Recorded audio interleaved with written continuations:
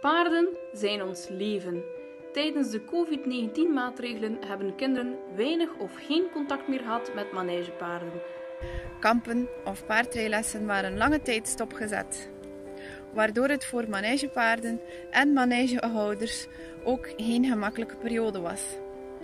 Manegehouders zijn dan ook een belangrijke bron van informatie over paardenwelzijn, verzorging, ruitersport, recreatie.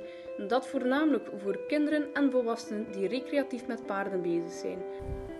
Want de manege is voor een zeer grote groep ruiters, paardenliefhebbers, paardeneigenaren en in de allereerste plaats waar zij ooit in contact kwamen met paarden.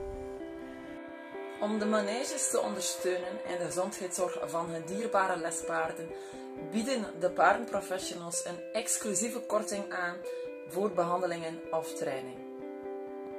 Ga jij paardrijden in een manege of staat jouw paard daar op stal? Deel dan dit bericht met jouw vrienden, zodat we alle manegepaarden kunnen helpen ondersteunen.